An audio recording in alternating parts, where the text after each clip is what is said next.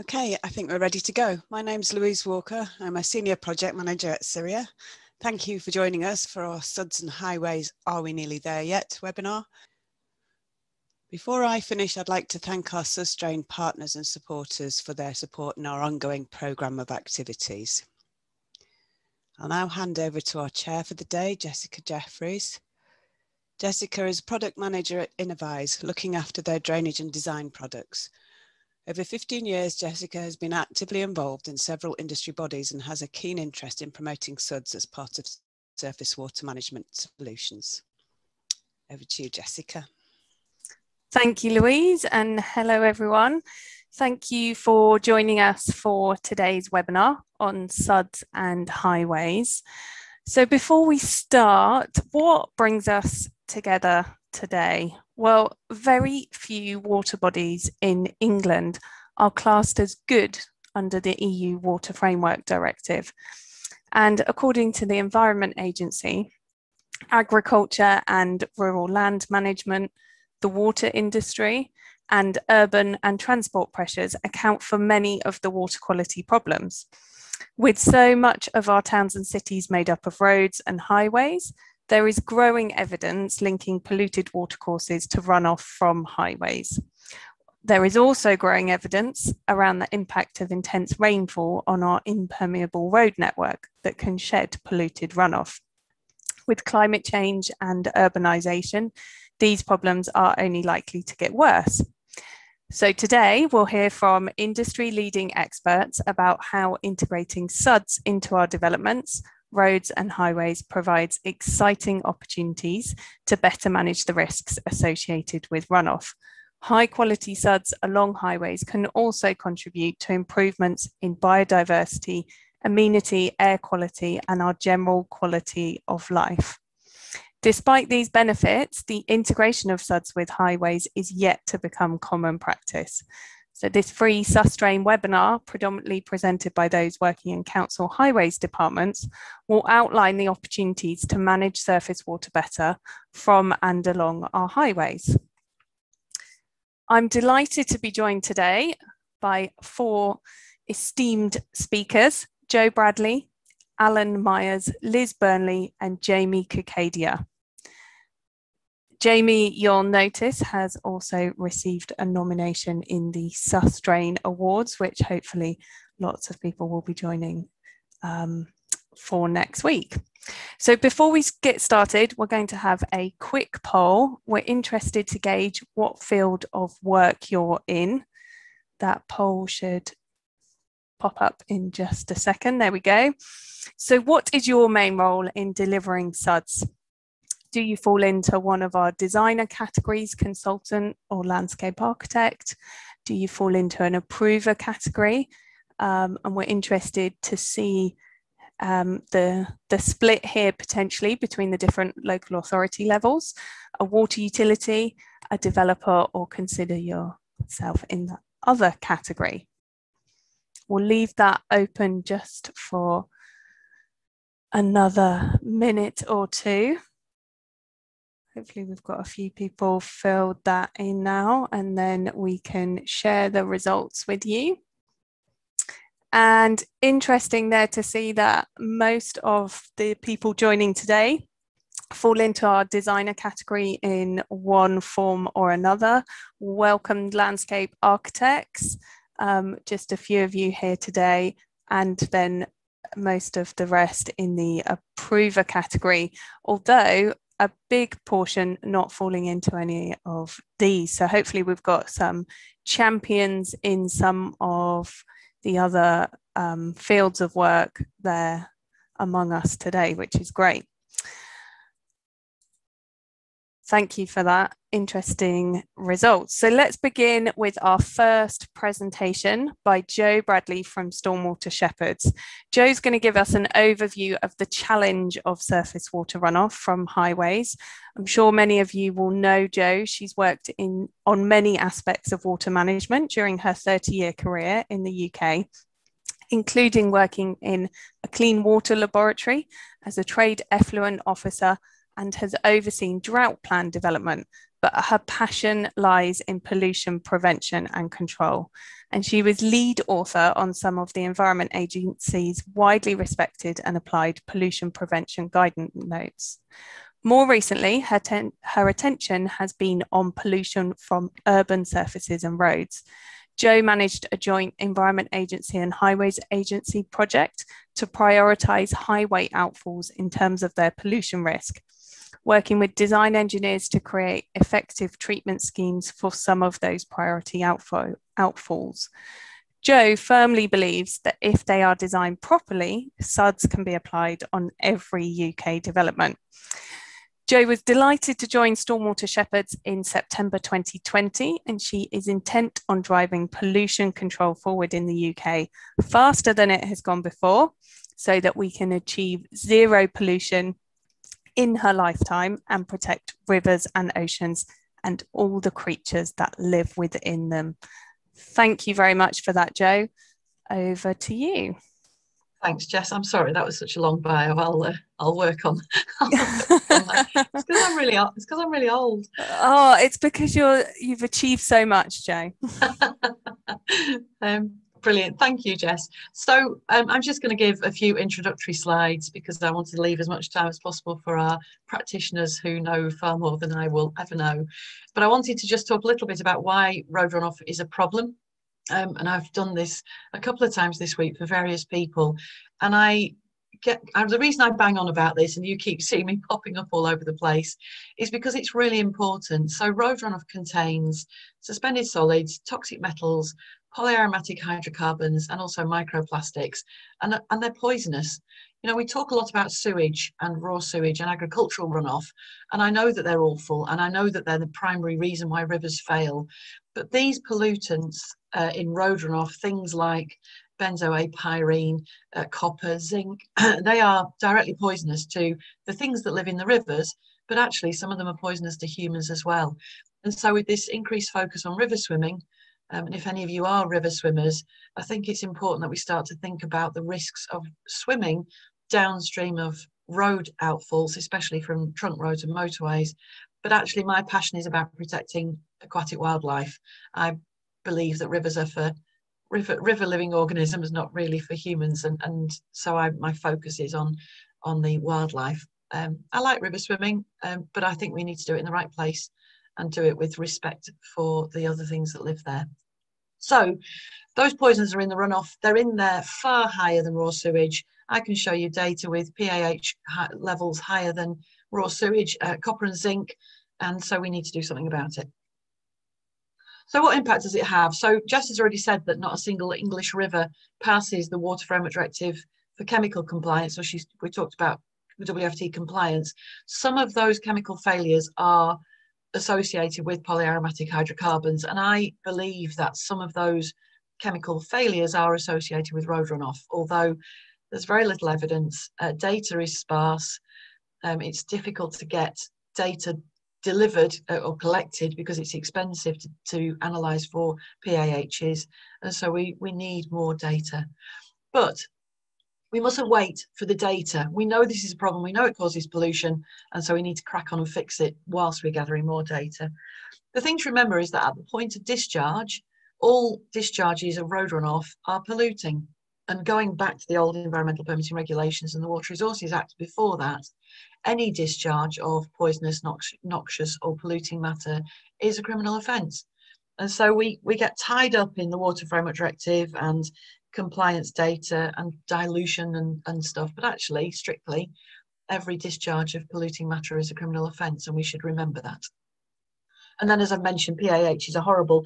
It's interesting they I've listed they're carcinogenic, mutagenic, bioaccumulative, and they affect the reproductive success of invertebrates. And actually, I was doing some more reading yesterday for something else that talks about benzoapyrene having the ability to pass through the placenta into the unborn baby. And again, that takes me back to the risks of river swimming. And I think we need to do a whole lot more research.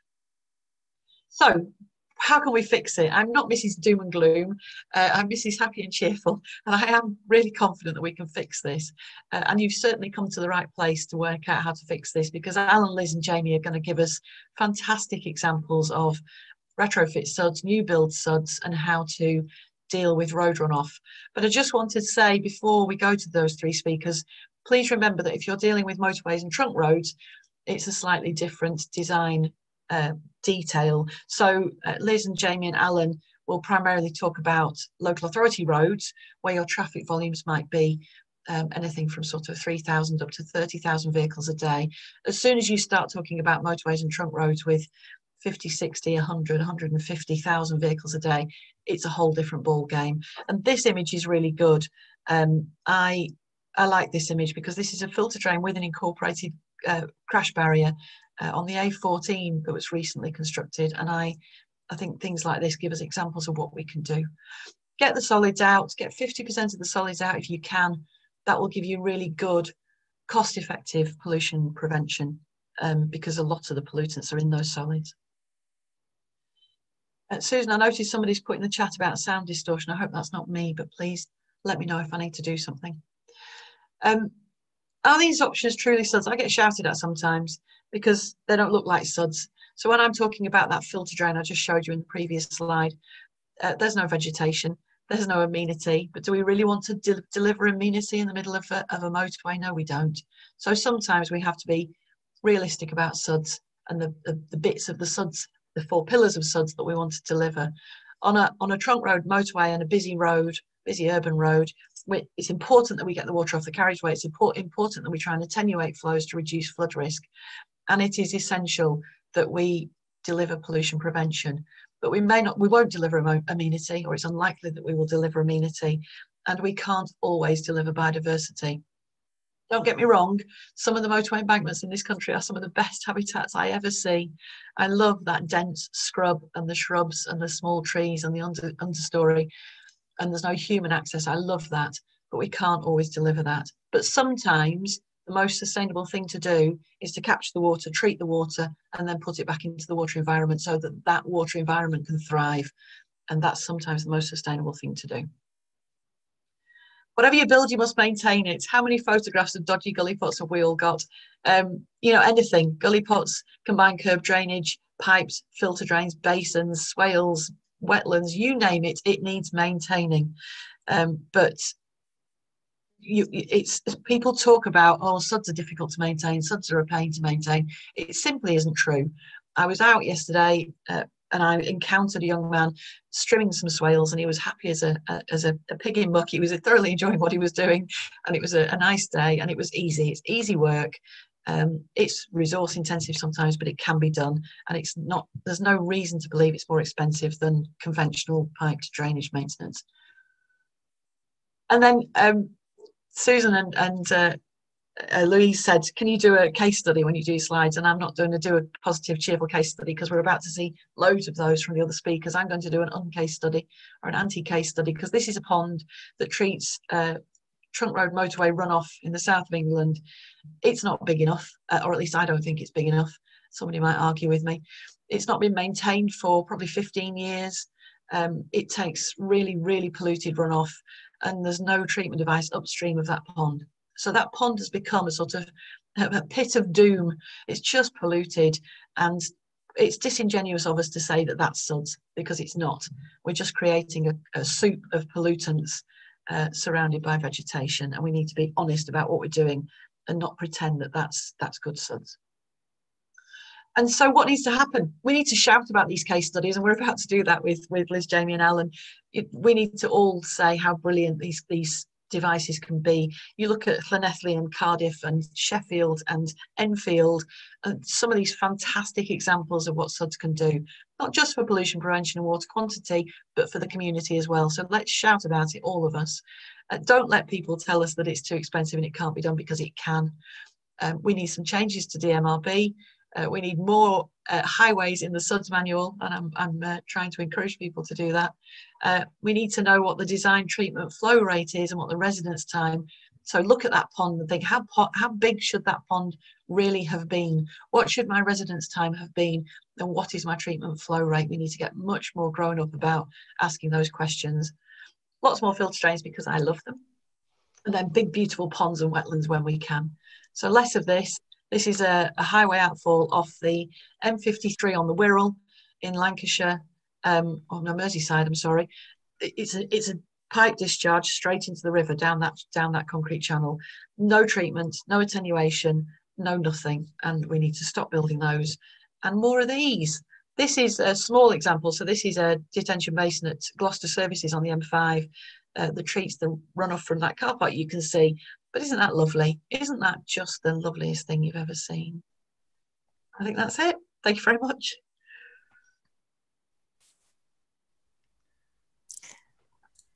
Thank you, Jo, for that. You've given me another reason to go to Gloucester Services, if not just to have one of their amazing sausage rolls. I can now look oh, at the oh. suds at the same time. and the ginger ginger crunch slices.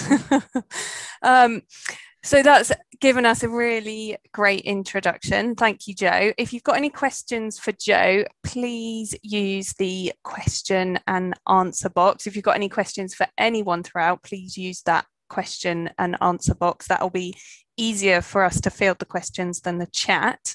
Um, feel free to ask them. We'll raise any questions for Jo in the discussion at the end, but we want to get onto these amazing case studies that Jo has referred to.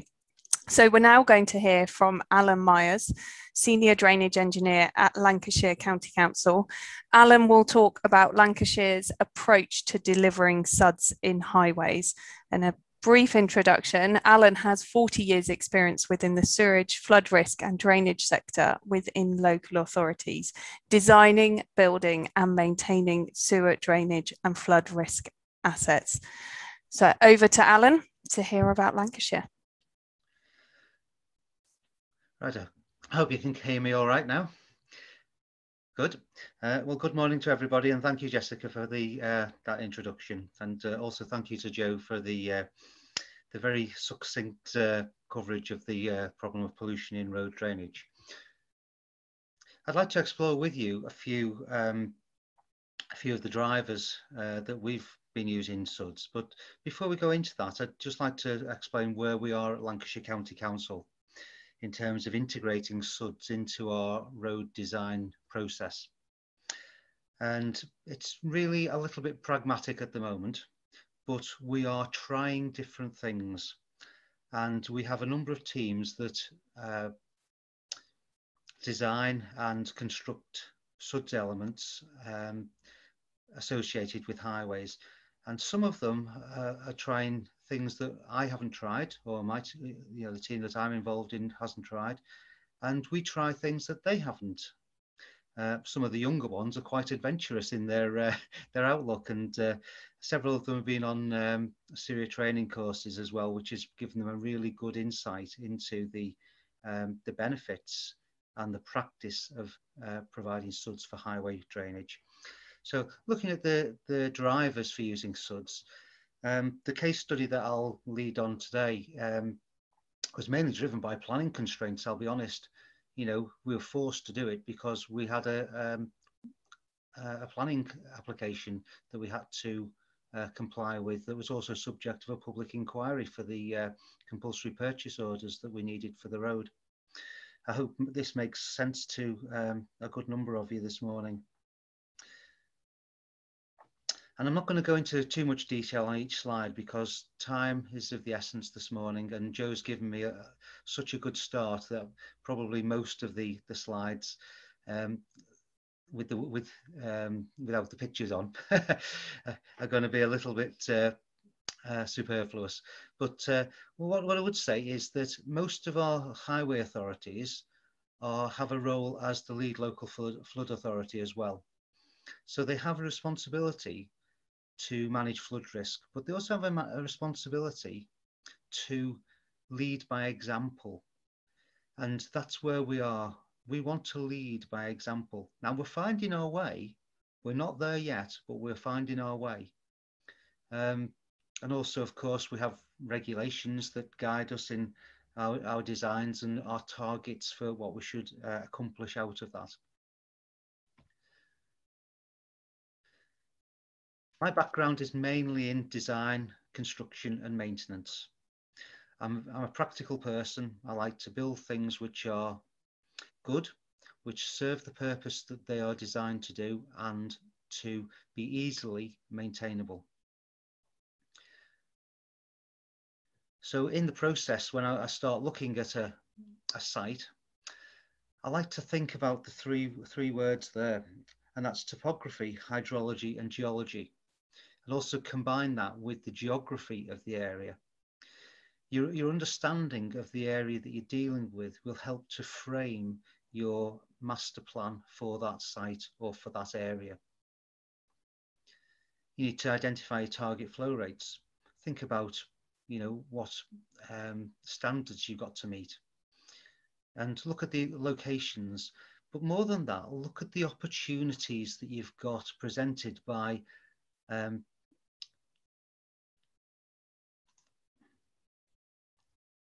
pre presented by a, a site. You know, it's like a blank canvas on some sites. You've got a, um, a palette that you can work with within SUDS. And don't forget that uh, the design will be an iterative process where you will try things out in on the design stage and you'll change things as they go through. Don't be afraid to change things and to get new ideas on um, different features.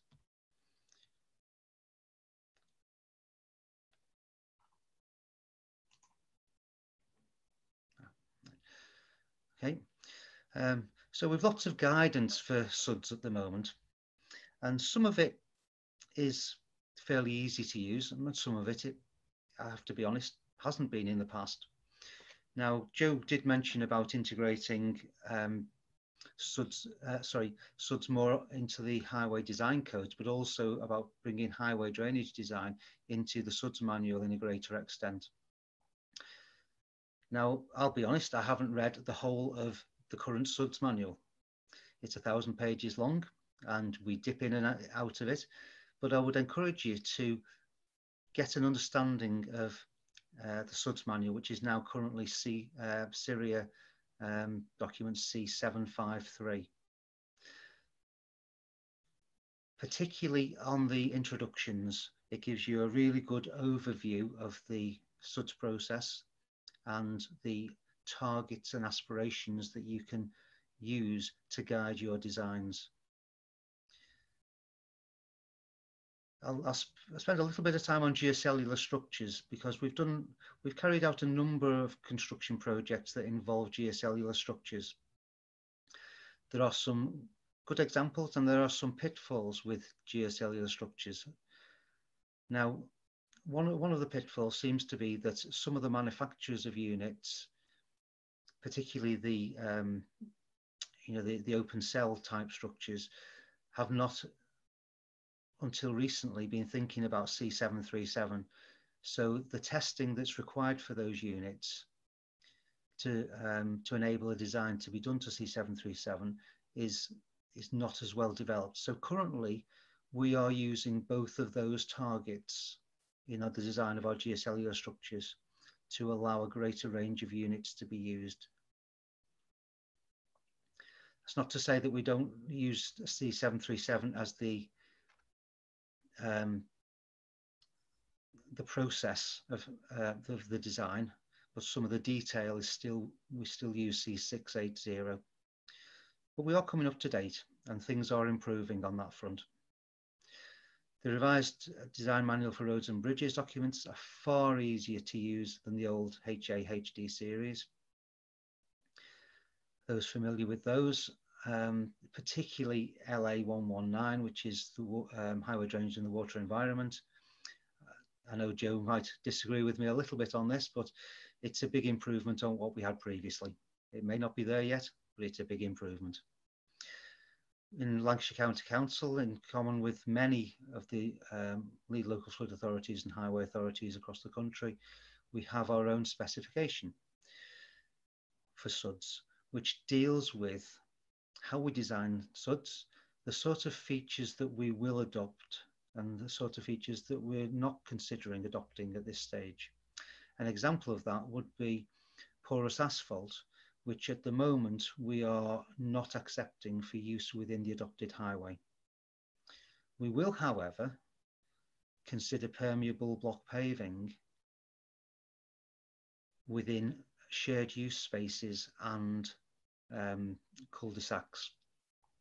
So there is some scope there for using um, permeable block paving within the uh, highway. Obviously, if it's away from the adopted highway, then we would consider each proposal on its own merits. We currently use uh, MicroDrainage for analysis of um, our drainage systems.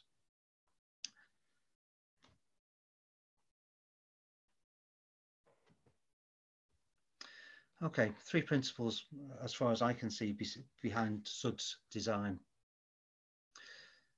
And I had three words in my mind. The purpose for which you're designing, how you communicate that message to the full design team, our maintenance team, construction team, and also that we bear in mind the maintenance aspects of the features that we're designing as we start our design process so that we're scoping out and um, laying out our, our plans in a well structured and well ordered manner.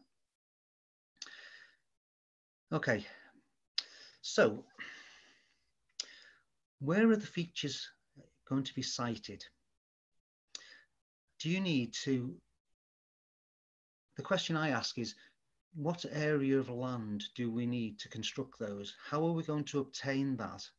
And how is it going to be maintained going on from there? One of the key things that we found is that you actually need to talk to each other because there are a number of different disciplines that feed into this. Uh, we've also we've already dis discussed obviously that we've got a few landscape architects with us, which is great. They are vital to the look of the features and to the practical uh, issues of what planting to use and how that's laid out. Geotechnical engineers, we need to work out what our ground conditions are going to be.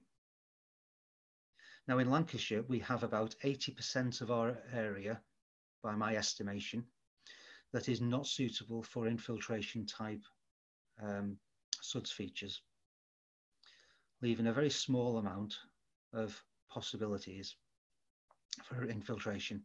On some of our um,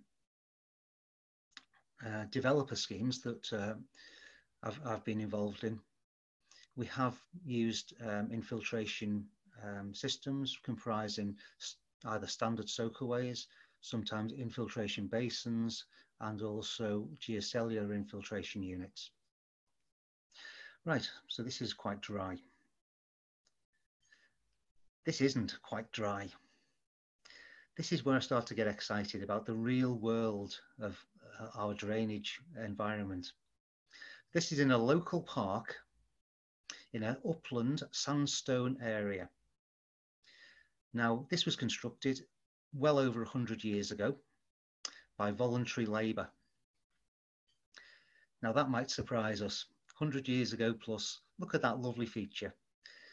There are some slight disadvantages to this feature, and I'm not going to criticize it because I think it's such a good example and I wanted to use it particularly in relation to sediment management, which is one of my um, passions, is how we deal with sediments as they arise from the road uh, environment.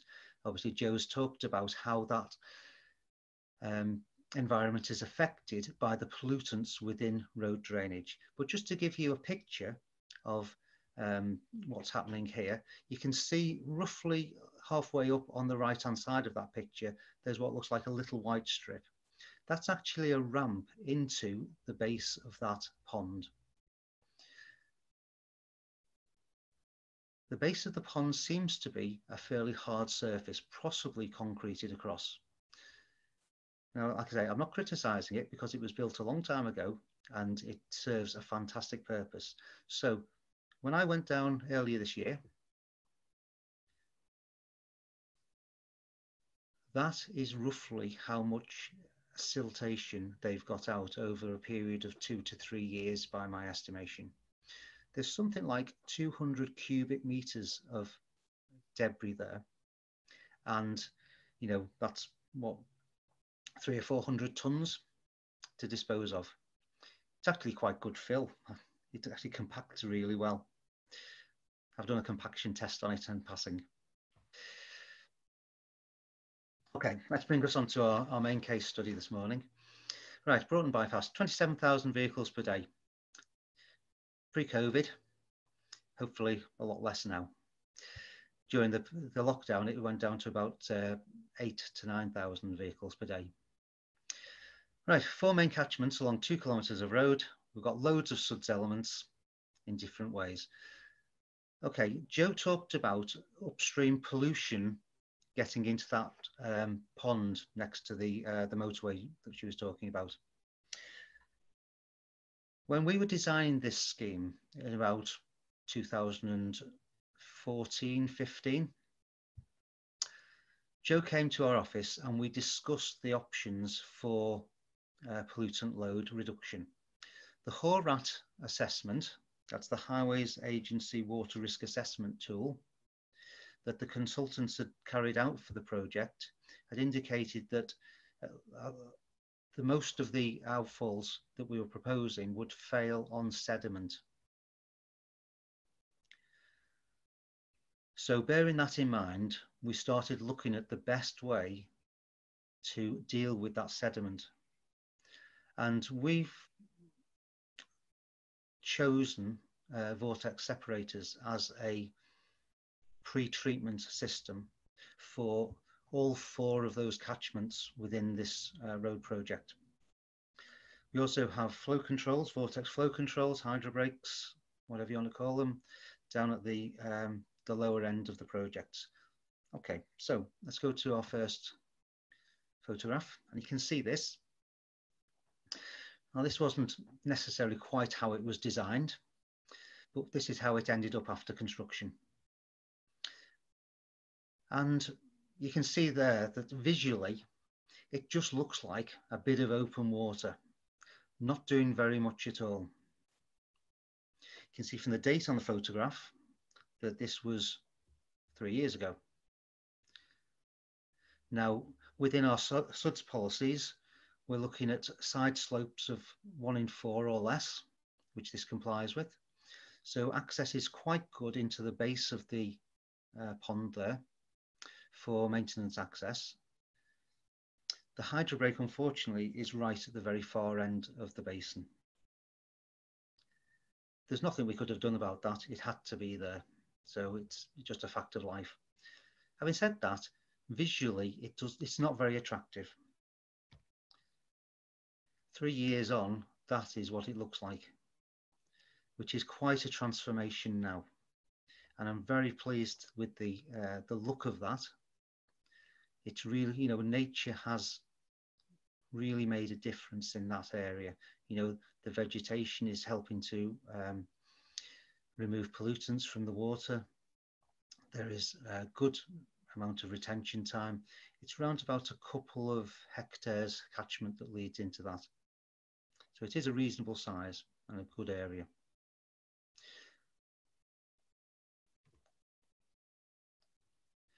Okay, Maintenance issues. Spot the separator. Now you might not be able to see that there. I won't ask for a poll on how many of you can see it. That's where it is. It's well hidden. So when our maintenance teams in a few years time come to uh, visit that site, there will be little trace of it. So we're going to have to do some remedial work in that area to try and remove some of the uh, immediate vegetation and uh, give a, a clear marking as to where it is.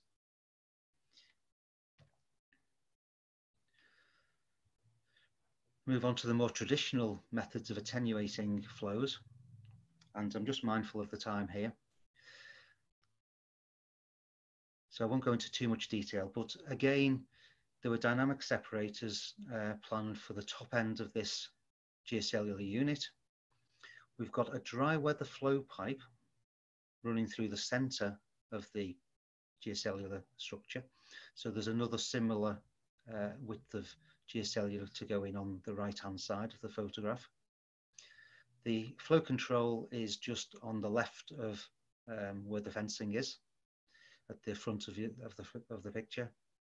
And there's a, uh, a main river, well, I say it's a main river, it's, it's main river classification running along the left-hand side where the tree line is. This was sited basically within the floodplain of the uh, river.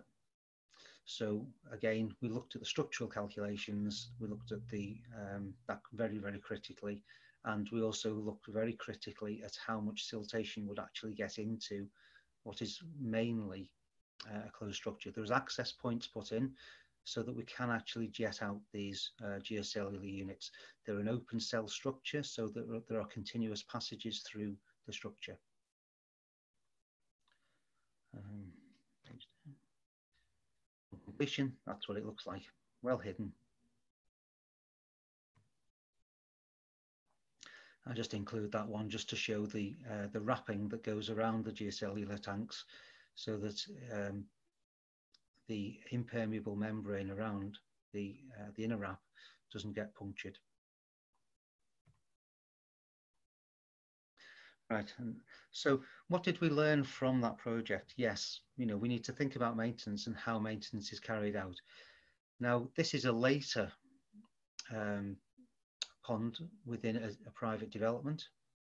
It takes the adopted highway drainage from an existing public highway and it's it's it's far more natural already in its shape you know it's got a much uh, much less rigid form. It's close to housing. As this develops in uh, vegetation then the view from the road will improve. The view from the upper rooms in the um, adjacent housing will uh, really improve. Now, I've tried to give you just a, a, very brief overview of the sort of things that we're doing and, and that, but we've got lots, lots of other examples of where we're trying different things to try and um, reduce the pollutant loads coming into the, um, the river network.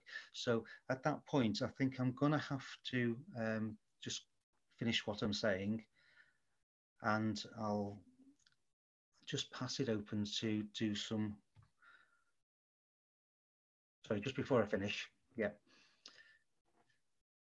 Think about those three principles, the purpose of what you're designing, understanding and commu communicating the aims and principles of what you've designed to the, the um, fellow designers, the construction team and the maintenance teams, and really get to grips with what you're expecting out of this and consider, even at the start, how maintenance is provided and funded in some cases. Okay, so any questions, please?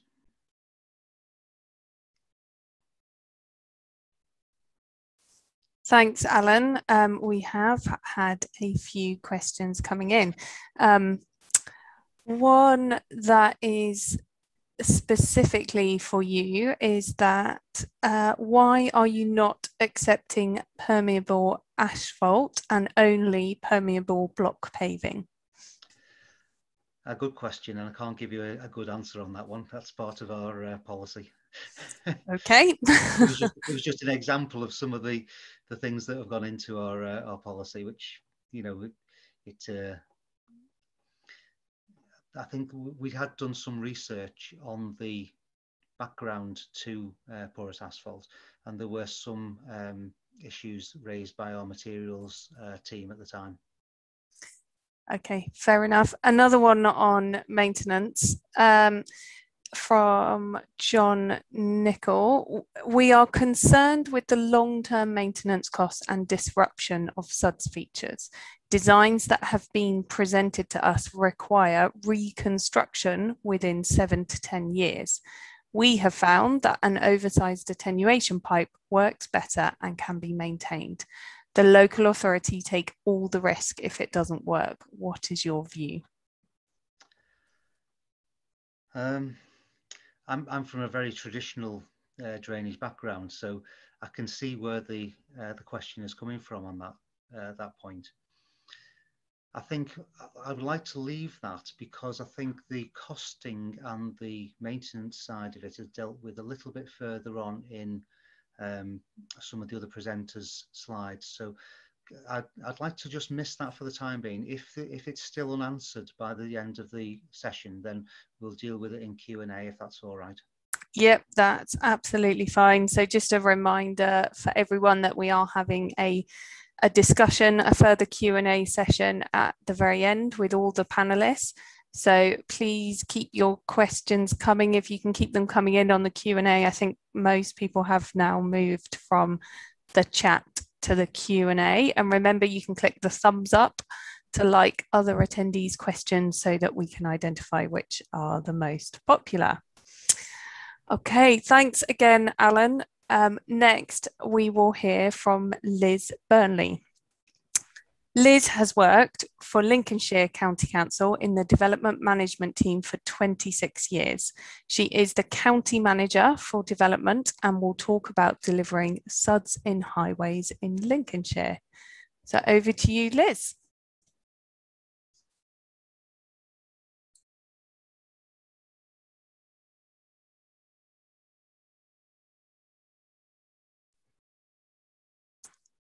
I can't hear you yet, Liz. She did say she was having some connection difficulties, didn't she? So she did. Yeah, I'm just I've lost my video screen to see whether her video is on. I don't know if anyone else has got the video. Showing video or or unmuted. Oh, oh, we've got video of Liz. oh, we've got sound. Hooray! I lost connection just as I was about to start, but just got it back again. So fingers crossed we'll be okay. Oh, it's away. Thanks, Liz. Okay, thank you, everybody. So there are a number of negative impacts associated with the conventional drainage systems. These include, include incre increased flood risk, limited capacity, pollution, erosion to watercourses, drought damage to trees and shrubs, particularly in urban areas, and wildlife can often become trapped and killed by conventional urban drainage systems. There are four critical objectives that sub, SUD seek to meet. Quantity, managing flows and volumes to match the rainfall characteristics before development in order to prevent, prevent flooding. Quality, preventing and treating pollution to ensure that clean water is available as soon as possible to provide amenity and biodiversity benefits amenity, enhancing, enhancing people's quality of life through integrated design that provides useful, attractive, multifunctional spaces, and biodiversity, maximising the potential for wildlife through design and management of SUDs.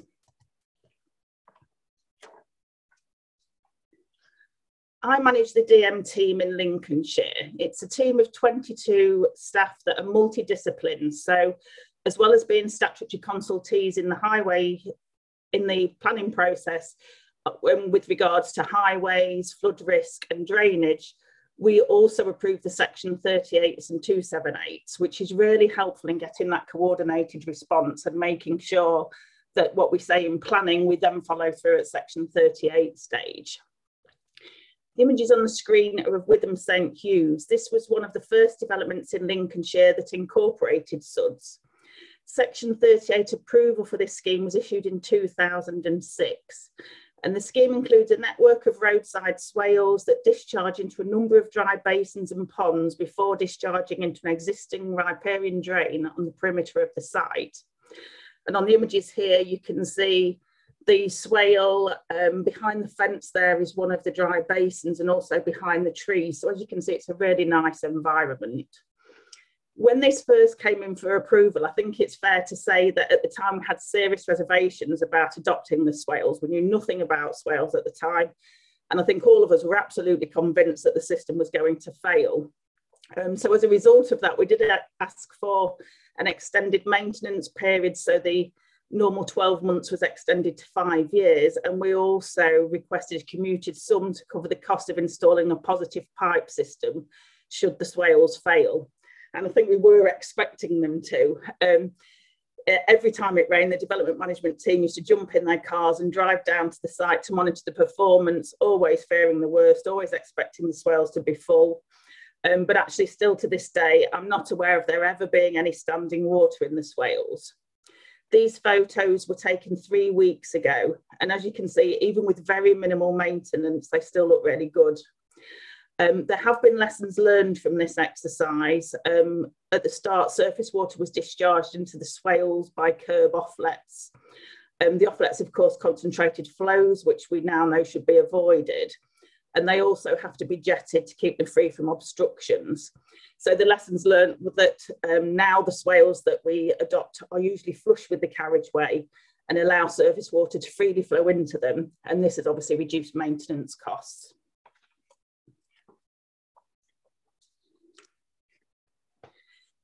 SUDs should ideally be integrated into the fabric of the development using the available landscape spaces as well as the construction profile of buildings.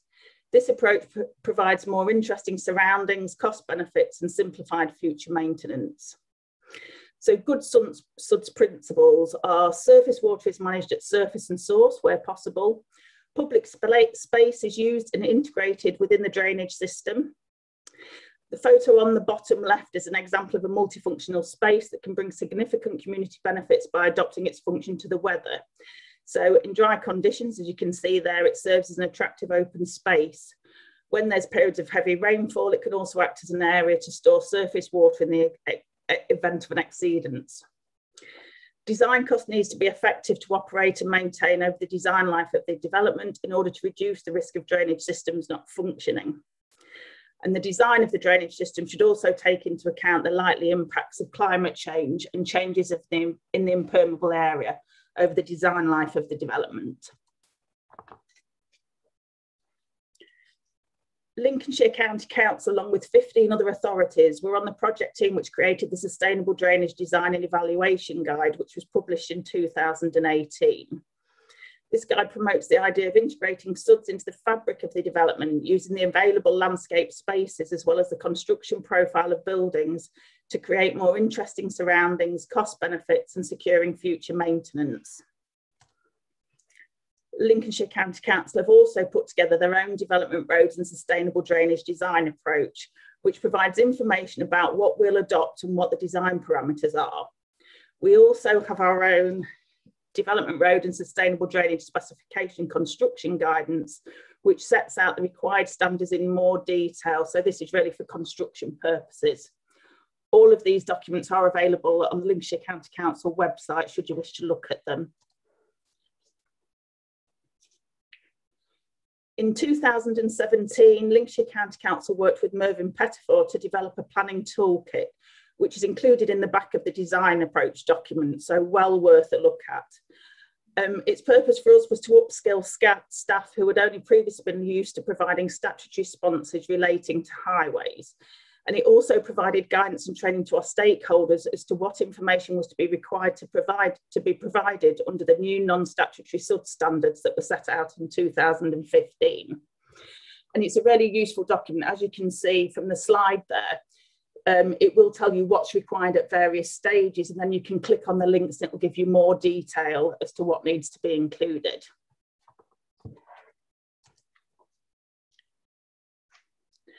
As a two-tier authority, Lincolnshire County Council believes that the most effective flood risk and drainage outcomes arise from early engagement with the Highways Authority and lead local flood authority and risk management authorities topographical surveys, GI reporting, existing landscaping and pre-development runoff rates allow us to best design a system that mimics the natural environment and prevents an increase in flood risk to or from the development.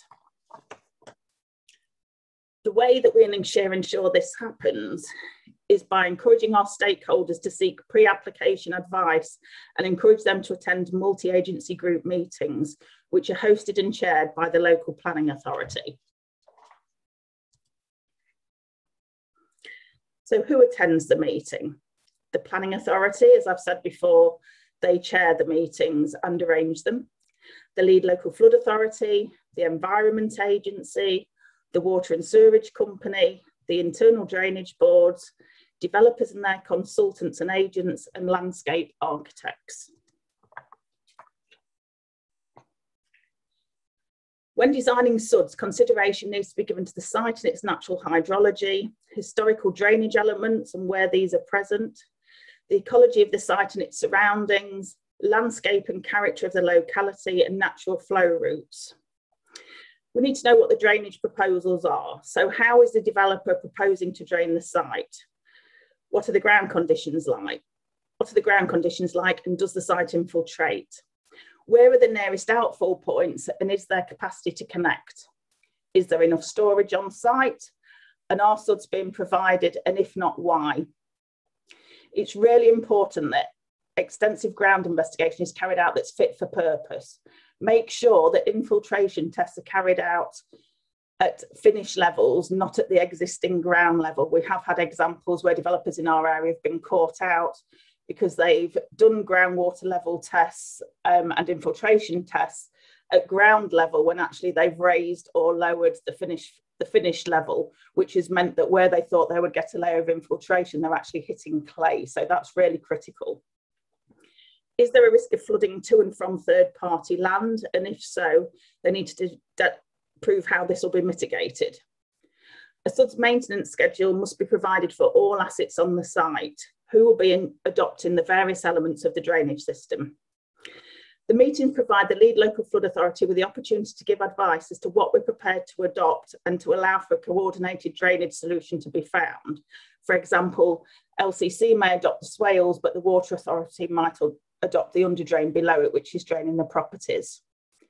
We found that developers really welcome the opportunity to meet with all the stakeholders at the same time in order to agree the best possible outcome.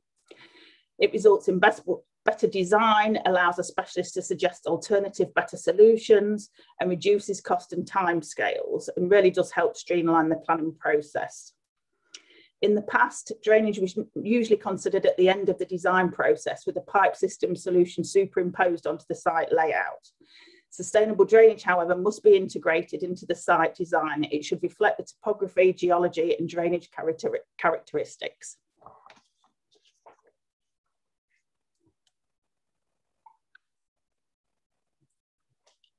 A while ago, I attended a workshop about manual for streets, which was mainly attended by planners with just a few representatives from highways.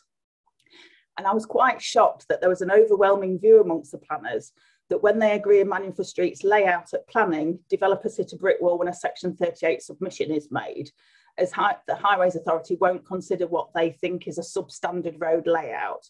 So a layout that includes trees or different materials to what they consider to be the norm I just wonder if you've had similar experiences.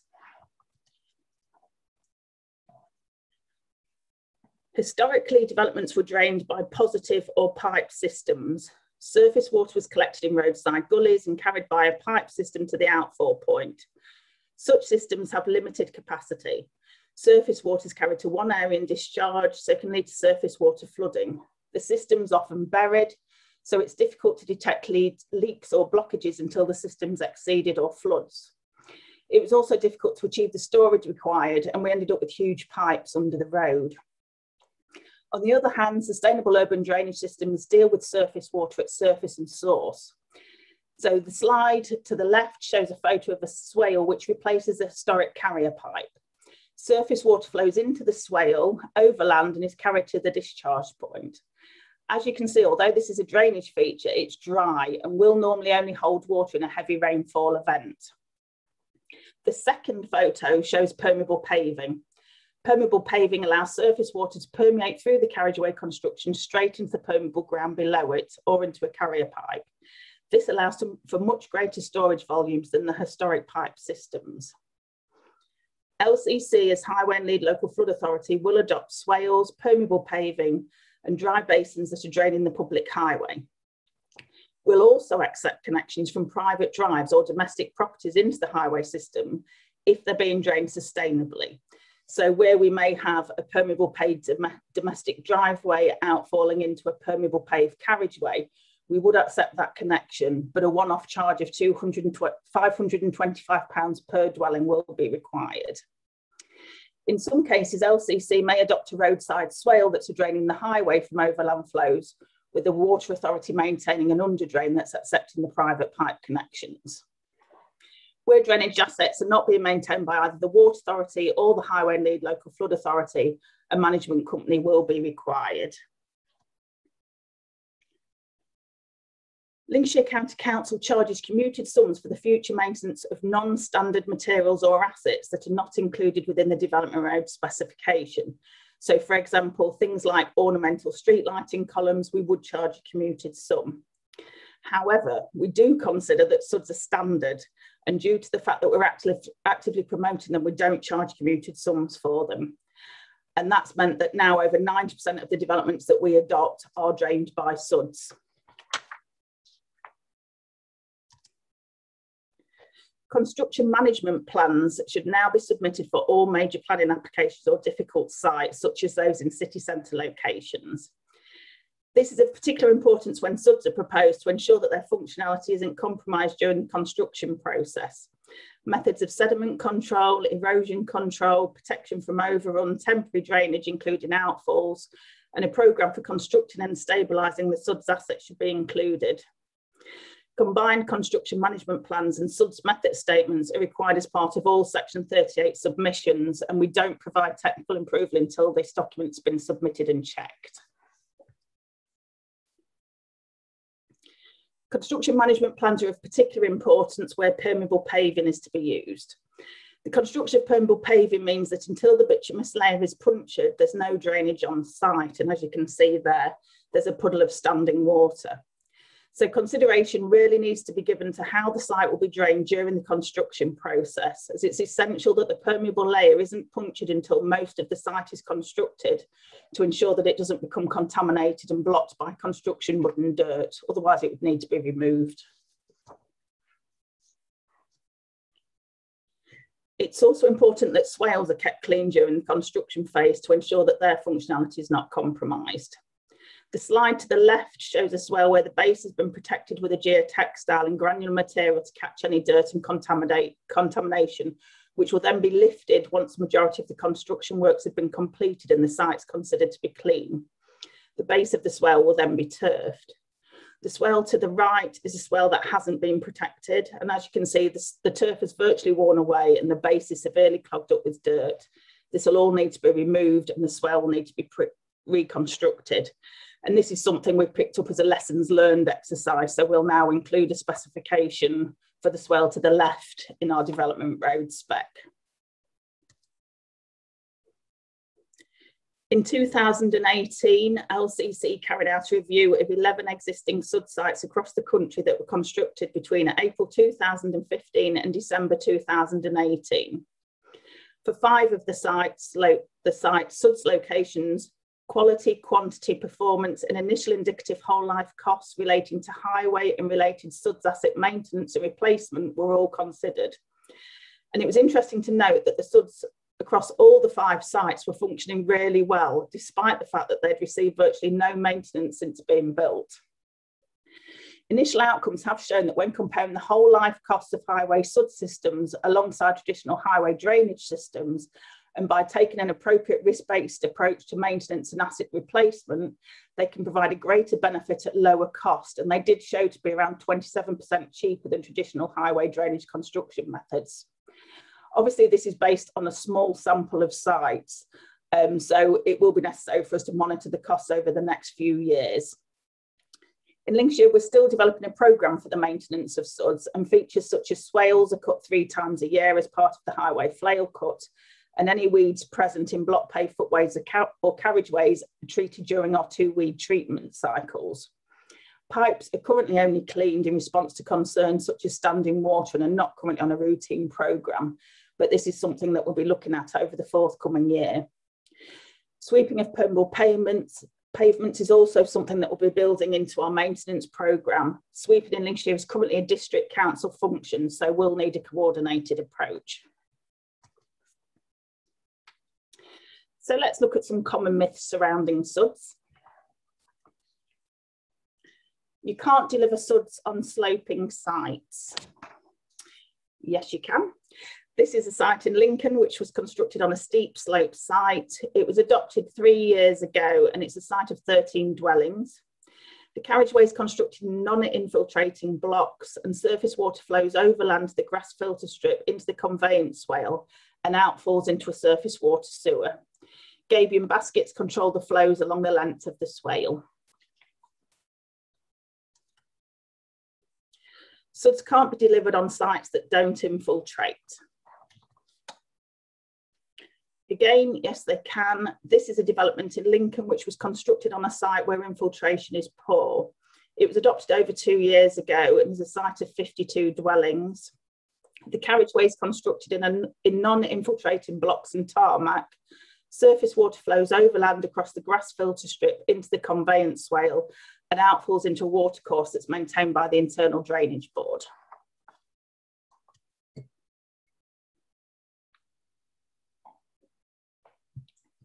SUDs are more expensive to construct and maintain than traditional drainage systems. Well, as we previously demonstrated, LCC have found that SUDs are cheaper to construct and maintain than traditional pipe systems when taking a risk-based approach to their maintenance. You can't use SUDs on sites with a high groundwater table. If a high groundwater table has been detected, then a SUD solution needs to be found that's shallow and will avoid infiltration. SUDS components such as swales and permeable paving that normally rely on infiltration may still be suitable if used in, conju in conjunction with an impermeable liner. LCC has chosen not to adopt lime permeable pavements due to the maintenance liability of them, but we do, however, adopt lime swales. And that's another image of Witham St Hughs that you can see there. So who can adopt and maintain SUDs? The government options are service management companies, water and sewerage companies, local authorities and private individuals. LCC will adopt SUDs if they're integrated into the highway and these can include the discharge of roof water. And as we've discussed before, when this is the case, we do charge a service charge. As lead local flood authority, it's essential that we know who's responsible for maintaining all parts of the surface water drainage system, even those that we're not adopting. So for de developments where we're adopting the estate routes, it's important that if a flood event does occur in the locality, we're able to determine who's responsible for maintaining assets that might be failing. So a SUDS maintenance schedule must be provided for all assets on the site. So just to recap, the responsibility for ensuring that SUDs are designed and implemented to a satisfactory standard lies with the local planning authority. It's essential that planners, lead local flood authority, highway authority, members, both district and county councillors, developers, consultants and water and sewage companies are on board in order to deliver a sense of place that we're all aiming to achieve. It's probably fair to say that we were all sceptical when we first became involved in SUDs and many still are. So it's really important that we work with those that are still sceptical to win them over. As an authority, Lincolnshire County Council have offered and provided training sessions to our local planning authorities, their members, developers, as well as our own highway maintenance teams. And we would really strongly recommend that you work closely with your internal and external partners take them out on site and show them problems that you've encountered with traditional pipe systems. I'm sure that you've all got examples in your areas where positive systems have flooded or have become a maintenance liability or are just not very attractive to look at in terms of creating a sense of place. Then show them some good SuDS sites. There are plenty of them around, not just in the local areas, but nationwide. Don't be afraid to show them what you think has worked well in your areas, as well as what you think hasn't worked so well, and how this has been addressed later on on larger sites, later sites. Um, in LCC, we're not saying we've got SUDs right. There's still lots of things we're learning, lots of things we're developing. At the moment, we're looking at the wilding of um, our verges and swales. So it's an ever evolving process. Don't be afraid sorry, we found that talking through our thought processes with our maintenance teams, members, and other internal and external partners, backed with sound evidence and examples, has played a big part in the way we're now able to function.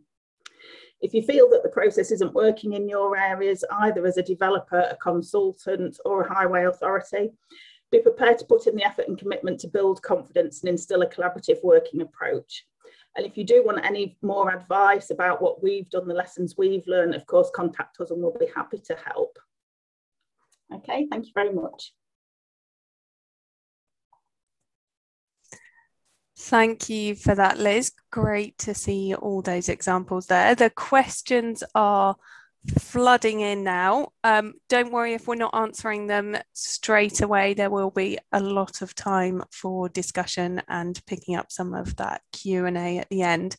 Um, but there's there's a bit of interest in the questions, Liz, if you don't mind me asking one now around the flush curbs.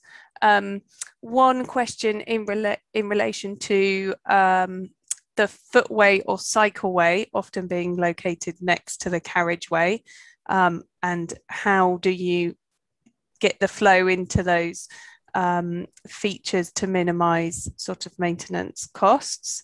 And then slightly related to that have you seen any increase in vehicle overrun or pedestrian collisions as a result of those flush curbs? Yeah where possible, we would request that the footways or cycleways are moved to the other side of the swale so that you've got carriageway, swale, footway, cycleway, or that a shared surface is provided, which again really helps to create that sense of place.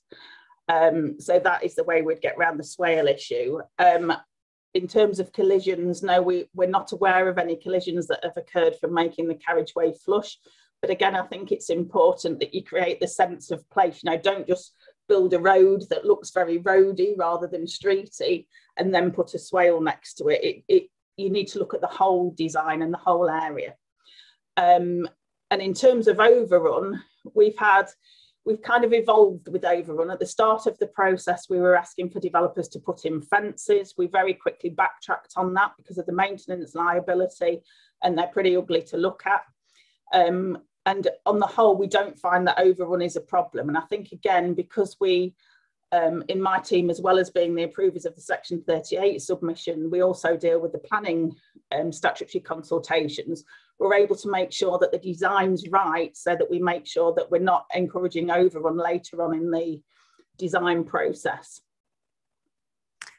Thanks for that. Hopefully that's answered those questions really helpful to hear the practical application of it, I think. Um, and another quick one before we move on, there's just a request that those documents you mentioned, if we can share the links to those, um, hopefully we can sort that out after yeah. the uh, after the presentation. Okay, thanks again, Liz. Um, I'll invite you back for the discussion after our final speaker. Thank you. So finally, we will hear from Jamie Kukadia. Jamie's an engineer in the watercourses team at London Borough of Enfield. And Jamie's going to talk about retrofitting SUDs in highways in Enfield. Thank you. Um, try and start now. That's okay. Jamie, while you're getting that set up, that's fine because I just realized I've missed half of your bio off. Jamie is also part of the innovative watercourses team at Enfield Council, whose key focus is on reducing flood risk and improving the river environment. Jamie's project manage rain garden and wetland projects across the borough and works collaboratively with highway and traffic colleagues to retrofit rain gardens. And as we've said, Jamie is also one of the shortlisted susdrain Suds Champion 2021 nominees. So over to you, Jamie. Thank you. Thank you. Right, um, well, I'll introduce you to Enfield. So, Enfield's the northernmost borough of London, and it's got a wide network of watercourses, um, and it's actually got a really big suite of lots of different land uses. So if you can see my cursor, we've kind of got some green belt farmland um, to the west. Um, we've got these huge, like urbanized, typical London areas.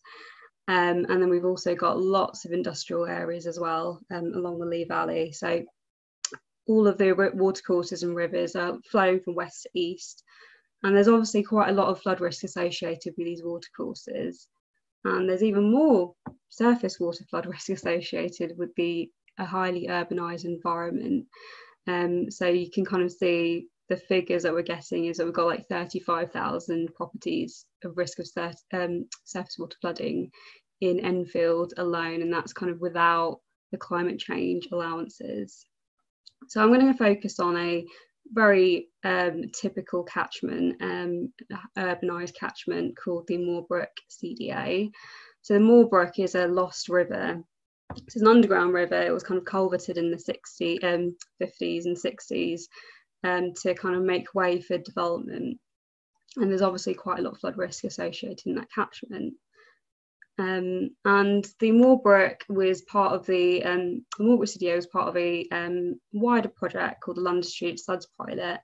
And it was, it aimed to kind of look at and evaluate the benefits of multiple distributed suds across the whole catchment and also um, look at all the benefits uh, or the additional benefits of SUDS measures. So when I talk about SUDS measures in this particular presentation, I'm, I'm talking about rain gardens.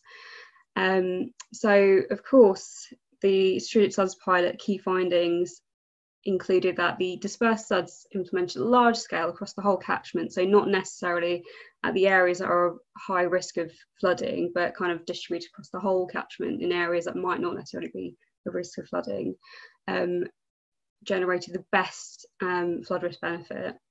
And actually, what's more compelling about this um, this project was that there was really, really large benefits of traffic calming and health benefits of these rain gardens, which actually outweighed some of the flood risk benefits.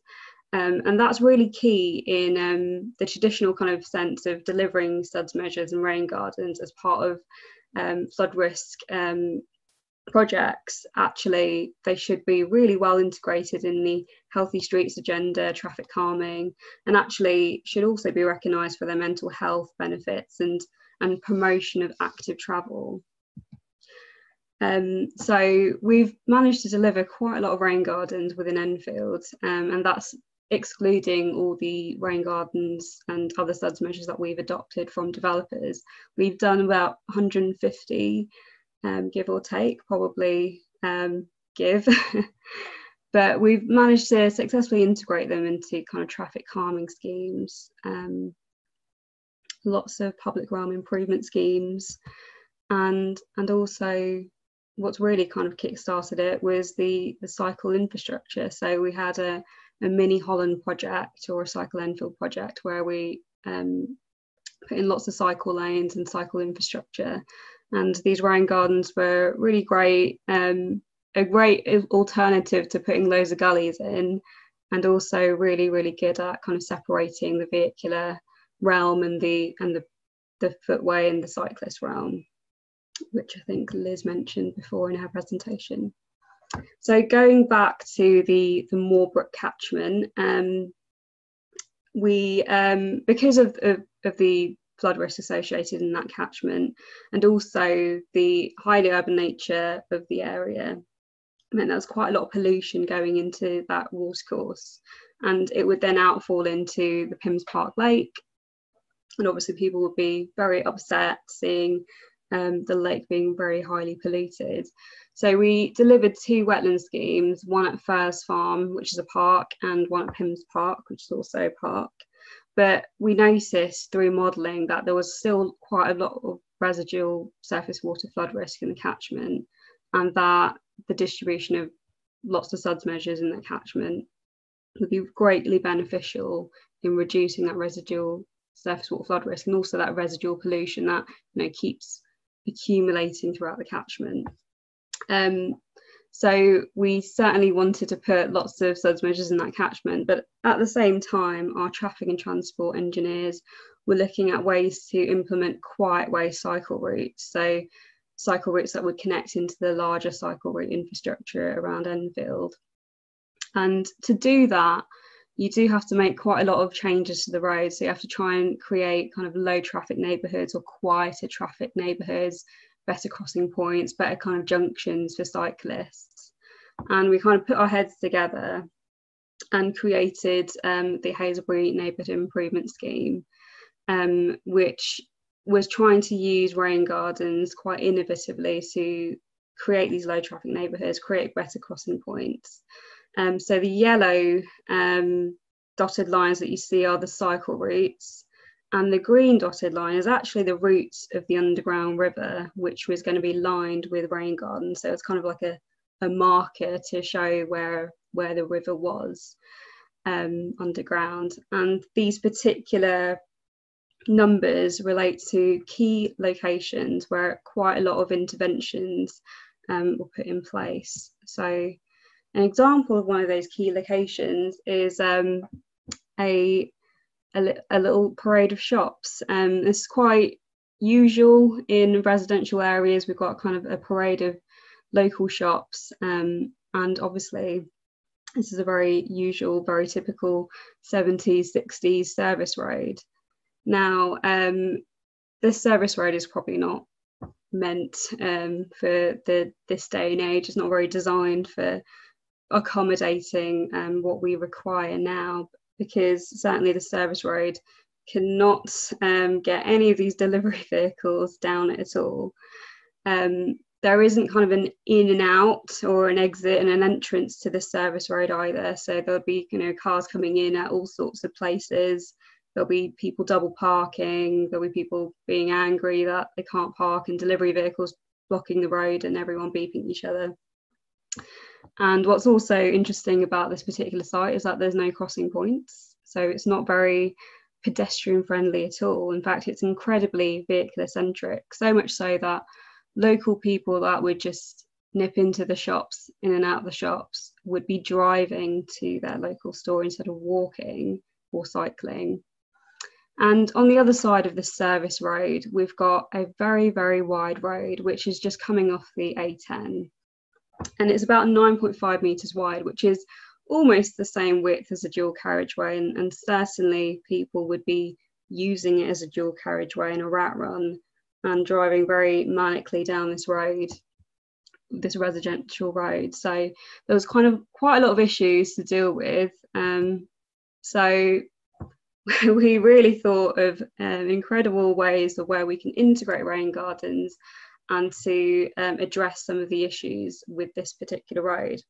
So what we've done is we've extended the footway out to create more space for pedestrians. We've rearranged the parking layout and used the diamond shaped rain gardens um, to separate these parking spaces. For the wide road, we've built out into the road using these rain gardens, and these also have also facilitated crossing points. Um, and we've also put in some loading bays, so there's actually places where uh, delivery vehicles can load and unload. Um, so this is what we presented to the local people. And um, this is what it looks like right now. Um, I say look right now, this is very early in the morning, but actually this cafe during the day has lots of tables out and about within the footway and there's people kind of milling about and, and using that space, which is really amazing to see that people are actually walking to the shops, people are using um, using this area in a, in a completely different way. And uh, yeah, we've Rain Gardens made that all happen. And here's um here's just a picture of the, one of the build outs and the facilitated crossing points, just so you can don't need to imagine that. So at the other end of that particular road, there was a school. So while you know cars were like driving very manically to the very end of the road, there was um, a school entrance for the very little younger kids um, for a primary school and this is what the uh, what it looked like before uh, we put our interventions in. So again, there weren't any crossing points. Um, it was quite chaotic. Um, people would be driving their kids to school, and of course, there is a huge issue with air quality, and there's an obesity crisis. So uh, our traffic engineers were really, really trying to get people to actively travel to school, especially when primary schools have got a very small catchment area. It's kind of most people live in the nearby streets and they're still driving their kids to school, which is crazy. Um, so how we use rain gardens here, we kind of use rain gardens again as build outs and um, to create a chicane effect. We're trying to get rid of parking so people aren't parking outside the gate and there's actually a little bit more space for uh, for people to cross and people to have better sight lines, lines as well. So um, this is what it looked like not post construction, I would say, because um, some of the rain gardens hadn't been planted at that point. But it's you know it's a lot better um, now, and obviously this is what it looks like in the peak of COVID. um, but that's a kind of an idea of what the rain gardens look like and um, how it's improved that particular part. Now, um, I'll try and run through some of the um, obstacles that or uh, that keep cropping up when people are designing and delivering rain gardens. One one thing that people are very worried about are buried services, and of course they are everywhere in an urban environment. Um, so the key thing is to make sure your the services are in the gravel layer of a rain garden. So the way a rain garden is built up, I'm not sure if anybody knows, is um, is through a gravel layer at the bottom, a sandy topsoil layer, and what we call freeboard. So that's kind of the the distance between your ground level or whatever whatever area your rain garden is receiving or, or draining. And um, just making sure that the buried services are in the gravel layer and it can easily be drained that's one fundamental thing. If there's quite a lot of services, you can change your rain garden design on site. Um, so the one on your left, diagram your, on your left means that you just stop digging. Don't have, don't worry about digging around the services. You can make your rain garden really, really shallow at that end, and then dig dig deeper when it's where it's less busy. And that way, your rain garden doesn't really lose capacity. And if the services are incredibly shallow, you could even try and bring up your gravel layer all the way to the surface and then change the change where you put your uh, your planted layer, as it were. But more often than not, we dig around services because I think I guess it, it's probably because we we build out into the road and there's less services and it's less busy, but we don't tend to change our rain garden and um, build up too much. Um, but all of this is kind of summarised in the UDL Designing Rain Gardens Guide, which I encourage everyone to have a look at. Some amazing groovy authors. I don't know who they might be.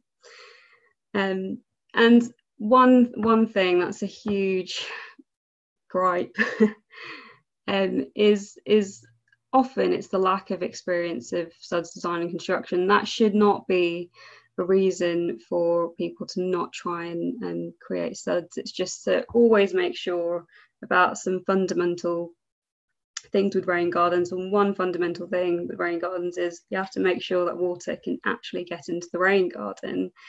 Um, for some reason, we've got a really big habit, especially landscape scaping contractors, they've got a habit of mounding planted areas and unfortunately that does mean that water cannot get into the rain garden. So what we tend to say is that the freeboard that you provide um, i.e the distance between your ground level and the finished level of the rain garden should be about 200 millimeters. So that's kind of like a curb width. And that will allow the water to kind of easily get into that rain garden. Um, and we're not kind of playing with 50 millimeters or 100 millimeters that could easily go wrong. Um, if we're talking about inlets uh, try and make the inlet as big as possible i would say. Um, i think at the moment we're saying that 300 millimeters for an inlet is probably the minimum. And 300 millimeters is just because you can get a really nice little road sweeper to sweep out any silts that accumulate at the inlet. Um, but obviously, if you can do a flush curb, then you won't really have that issue at all. Um, and yeah, we, we see this quite a lot um, with developers, certainly, is they, uh, they have gullies upstream of a rain garden or unnecessary gullies surrounding a rain garden.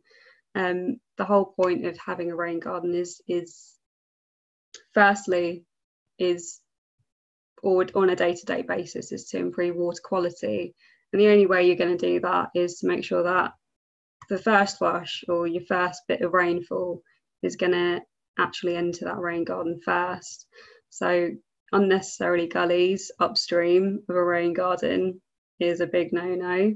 You can actually um, relocate some of existing gullies within the rain garden. So actually it's, it's receiving um, runoff first and then you can have an overflow back into the system.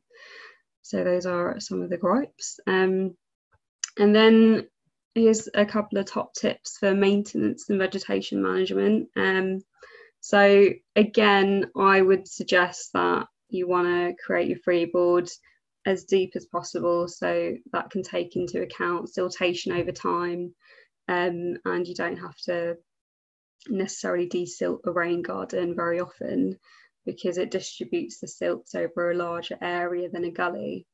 But if you make it as deep as possible, then it takes into account accumulation.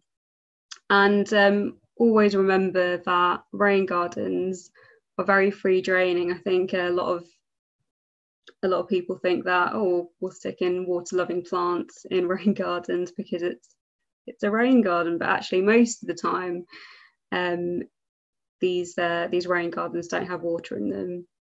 So you, drought tolerant species are always a good go-to. Um, and remember that drought tolerant species still need a bit of establishment. So what we have is like a two year maintenance maintenance regime where these plants are kind of watered quite often. They're um, they're de-weeded, and if you actually if you plant um, if you plant plant densely, you kind of get less weeds in in the rain garden as well. And the big go-to is to make sure that your grounds maintenance um, team are involved in the process. They know what's happening, and actually, we tend to let them choose the plants because they maintain the rain garden a lot better if they they feel that they've been involved in that process.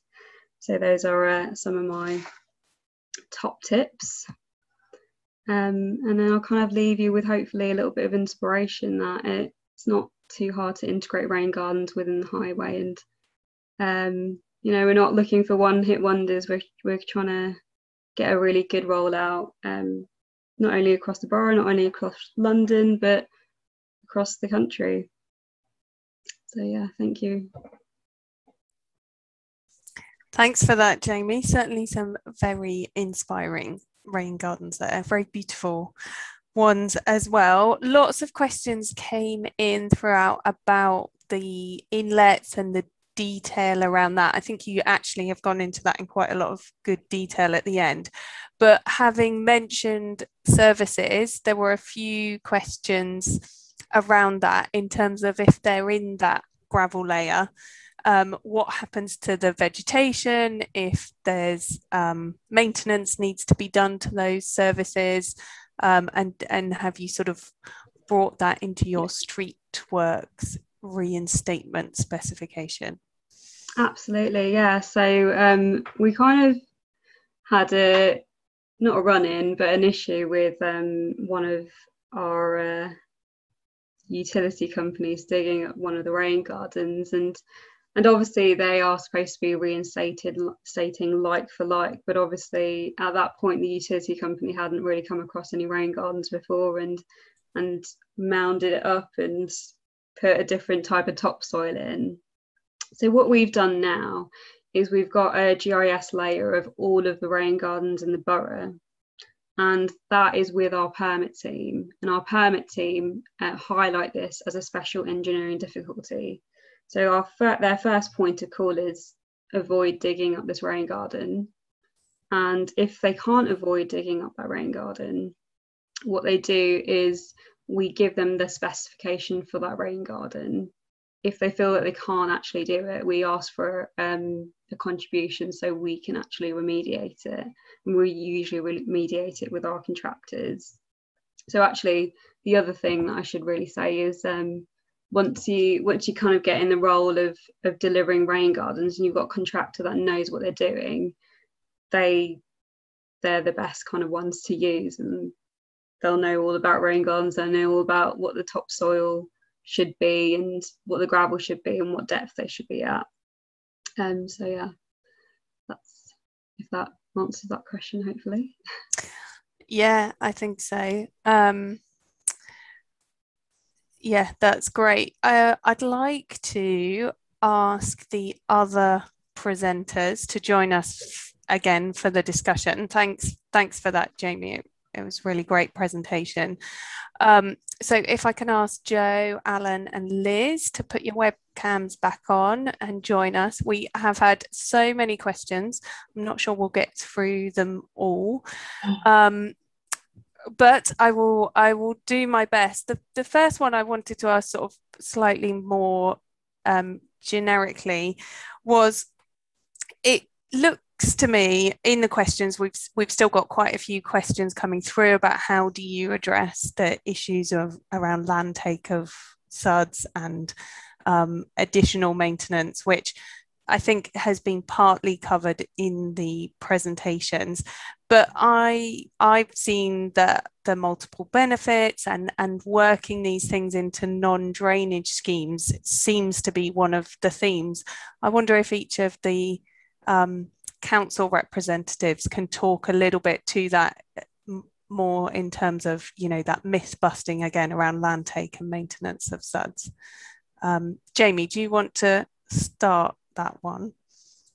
Yeah so i think so most of the suds that we do deliver are within the highway and um, conveniently i do sit in highway services. So when we're talking about land take we're really talking about the land that we own and that we work on but I think it's a lot more complicated when you kind of get out further out of London and uh, there's lots of different kind of landowners and land ownerships. Um, but yeah, I think we kind of, I wouldn't say we've got free reign of, of our highway land, but um, I think it's yeah, it's all it's all about considering lots of different things. So you know what the land is used for at the moment, what we want the land to be used for. You know, how can we accommodate lots of different users? And i think that's the key thing is certainly when we're doing it in the highway is what are the key users? Who are who are the people that use it the most? Usually vehicles. Um, and how can we kind of change that? Because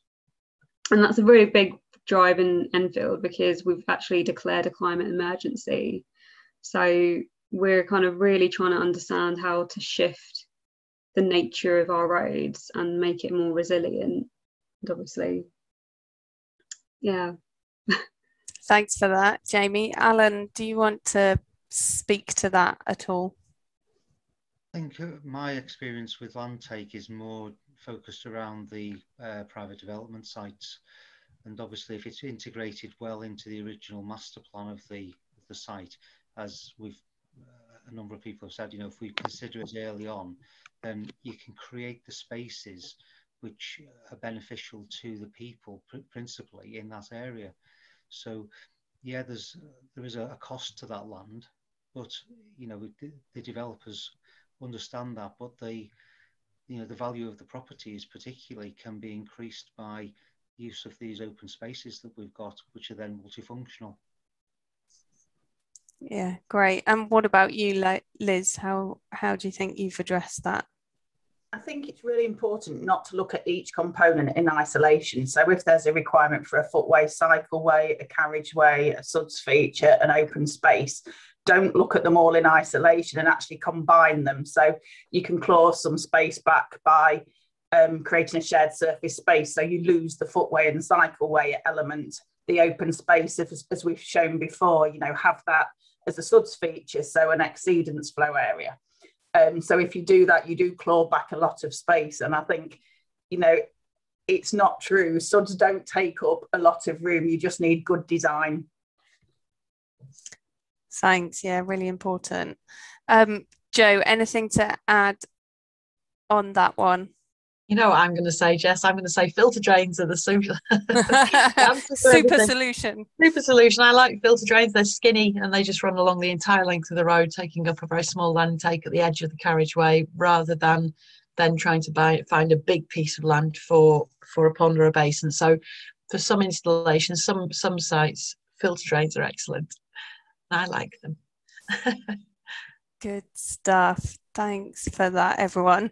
Just a reminder, because we've had a couple of questions coming in about logistics, there will be a recording made available after, um, and questions that we don't get to answer, we will try and follow up and answer after.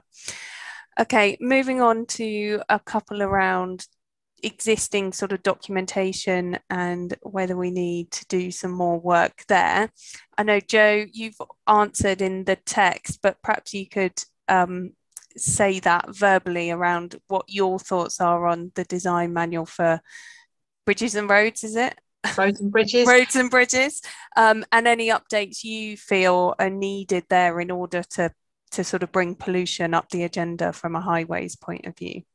Yeah, we can combine a couple of questions actually, because Mark Goodger had asked about whether or not the simple index approach was adequate. Um, yeah. And I'd, I'd answered that to say I think for low and medium risk surfaces, the simple index approach in the SUDS manual is, is adequate on its own for water quality um, consideration. But as soon as you move into a, a waste transfer station or a, a, paper mill or a road or a motorway, then the simple index approach on its own isn't adequate and you need to do a site specific risk assessment. And then somebody had asked about, um, I think it was Rebecca had asked about what, what I wanted to do to DMRB. There's just a few bits. I mean, it's a it's a good document. Don't get me wrong. And HD 45, which was the original water quality element, was very good indeed. But there's a couple of bits missing. We desperately need more information on treatment flow rates for design. We need more information on the volume of ponds for treatment. So loads of stuff about the volume of ponds for um, attenuation and, and, hydraulics, but not enough on treatment. And there's not enough recognition of pollution from polyaromatic hydrocarbons in DMRB, and that needs addressing. A couple of questions as well about the relationship between that and the manual for streets. Um, and I think for the sorts of things we've been talking about this morning with, with Jamie, Allen, and Liz, the manual for streets is a is another very important document, and it does mention SUDS. It's got some SUDS in there, but some of the case studies and, and um, practical um, examples that this morning's speakers have been talking about would be fabulous to feed into Manual for Streets um, because that's about the public domain. Um, I can't remember what they call it, but it's about public space. And it would be excellent to put some of Jamie's examples in there, for example. Sorry, I'm going to mute because somebody's just opened a chainsaw, just started a chainsaw. That's all right. Thanks for covering off several questions there around documentation. Um, we've got a few questions come in as well on how the different tiers of local authorities are working together. So um, I'll just repeat that question. How closely do local authority highways technical and maintenance teams liaise with LLFA flood risk and SUDS teams, or is it separate silos? So again, perhaps each of the local authority um, speakers can tell us about their experience Allen, can I come to you first, please? Yeah, no problem. The, um, we're breaking out of our silos is the simple answer. We're trying to um, with um, collaborative working and things like that. But uh, yeah, it's a it's a lengthy process to actually um, get team integration within our own organisation, and then to try and integrate with um, uh, external partners, particularly. It, it, it's happening, but it's you know we could be um, communicating better, I think, in in certain ways. So yeah, there's there's still a work in progress for us. Thanks, Liz. For us, it's really easy because we're all one team. so so it's really easy. Um, people that approve the section 38s are involved in the planning process. We hold lots of meetings where we'll discuss developments coming forward. So really simple. Only the maintenance team are a separate team to us. Everything else is covered under the development management umbrella and jamie is it the same for you it's similar, yeah. So we, we sit in highway services, but of course, there's lots of other teams that do deliver SUDS or can deliver SUDS. So there's like the, the regeneration team that will look at SUDS through Enfield's developments, and then um, you know the planning authority and the planning teams and, and the traffic teams.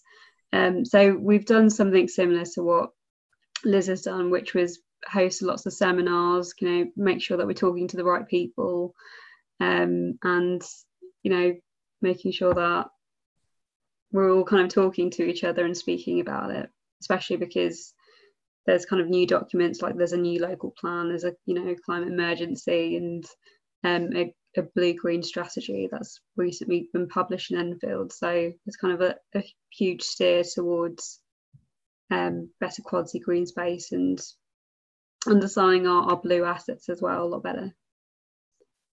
Breaking down the silos in all three cases then, which is which is good, or at least on that path. Um, okay, something a little bit different. A question here: What are your thoughts on some on the sometimes contentious subject of fencing off devices which have standing water? Anyone want to go first me, there? Me. jo. This is something i've been talking a lot about recently and you know what? I i absolutely agree that in a lot of situations you can afford not to fence it off and you can put a life ring and it's up then to the local people to take responsibility for their own health and safety. But um, I was looking at some legacy suds recently that have become beautiful habitats and they're already fenced to some extent because they belong to a water company. And you know what? I, I um I'd been reading loads of stuff on Twitter and LinkedIn about ground nesting birds and bird disturbance by people and dogs particularly. And I thought, you know what? Let's just fence these off, um, because not for safety, but actually to allow a really valuable habitat to develop that people can't get to, because we've got to get a better balance between amenity for people and habitats for wildlife. And actually, in some respects, fencing off that pond. So that one Allen showed with the rather attractive fence around it. I'd, I'd sometimes fence these off because if you've got ground nesting birds, you know, you've got ducks in the rushes nesting, or you've got coots, or, or if you're lucky to have more exotic birds than that, people walking by with dogs are just going to disturb those nesting birds. Um, and we can't get dog walkers to keep their dogs on a lead. Um, I know that. I know that from my own experience of my dog. So it's actually, I'm go for fences. Yay, fences, says Jo. Anyone else want to chip in? I think I, I think I that's a sorry. Sorry, carry on. Um, I think that's a really interesting thing that you've just said there, Jo, because it's not something we've considered as, as an authority, and we're always quite against fences at LCC because of the maintenance issues that they introduce. But yeah, that's that's an interesting point, Jo. Um, I think we've become very risk averse, haven't we? So we think that we need to fence everything to make it safe, and actually we don't we don't fence off our carriageways and and they're much more dangerous than an area of standing water. You know, if a child decides it's going to run in front of a refuse truck, you don't get a lot of notice. But if they fall into a small puddle of water, you stand a good chance of being able to pull them out. Um, so yeah, mixed feelings about them. Jo's made really good points there. So I think that's something that we need to take note of in the future when we are considering ponds and wet features. Jamie, I didn't see much water in the rain gardens you showed, but well, yeah, we do have quite a few wetland schemes um, which have standing water in them, but obviously we kind of make them as shallow as possible, make sure that you know the the slides and the slopes are, are quite shallow, so people can get out rather than specifically get in. So I think what we tend to do is not fence anything um, or steer away from fencing as much as possible. I think the only places where we've actually put fencing in is is where we've had to really make some steep slopes um, to avoid trees or avoid services or, or something like that. So um, the general principle is no fencing. Okay, thanks for that. I, will uh, just come in very quickly on that, if you don't mind. Um, yeah, the, the, the risk averse um, argument is quite strong, and it depends on the organisation that you're talking to as to what level of risk they're prepared to take. For example, we've done we've carried out um, a, a, culvert opening within primary school land, so that we've now got running water running through uh, a primary school, but we did fence it off. Um, and it has led to, as Jo pointed out, quite a, a habitat forming there. Um, the example that was in my photograph um, is slightly different because it's, although it's taking highway drain, drainage from the existing adopted highway, because it's within the development site, the developer's uh, management company is going to take on the landscape maintenance of that area. So it actually remains in their ownership. So the decision to fence it wasn't ours, it was the developers as the landowner. Okay, thanks for that, Allen. Um, okay, couple of questions on commuted sums, which I think Liz and Allen, you both uh, mentioned. Liz, the question was in relation to how do you calculate those commuted sums when you're receiving the additional runoff, um, not just from the roads? Is that a document you refer to on SUDS maintenance or is it previous project experience? And similar really for you, Allen, but just in terms of what how you do that for section 38 and section 278 SUDS works. Liz, do you want to go first? Yeah, so in terms of the £525, um, it was based on the, the cost that a water and sewerage company would charge for the discharge of surface water runoff. So we based it on that figure and it's a set figure that we use for all developments. Great, thanks for that. And Allen? Sorry, I'm just making a note of that one. how you've how you've arrived at that one. Yeah, I, have carried out analysis on some of the um, the likely uh, maintenance costs of things like the dynamic separators, and we have calculated out from the uh, potential silt loads and the disposal costs of those um, units the likely uh, ongoing maintenance discounted over a, usually a 20 year period at the moment I think we're using. Um, so yeah, you know, we have done um, analysis of that, and where it's appropriate, we do um, levy a commuted sum on the developer normally. Great. Okay. Thanks for that. Um, and then so a few specific rain garden questions for you, Jamie. So have you had any issues with road salts affecting plant growth in the rain garden or given any consideration to it? I think um, I went to a couple of presentations where road salts were causing issues for, for some plant growth. But actually, um, when we delivered our first few rain gardens, um, it was on a particularly busy road which needed a lot of ro- road salts um, during the winter time and actually the plant survived incredibly well. So I think it's really down to the types of plants that you do use, and it is incredible how hardy and resilient they are. Because of, of course they're also accepting quite polluted runoff, and um, I know Jo was talking about all the heavy metals and the oils that get washed off into them. They're incredibly hardy. Good, thanks for that. And then another question. Sorry, Sorry, Jo, did you want I to add something? Just going to add a little note to say I was in a presentation recently about climate change impacts, and they suggested that by 2040, we won't have sub zero temperatures in the UK anyway. So road salt will cease to be um, a design problem. So mm. it's just worth throwing out there.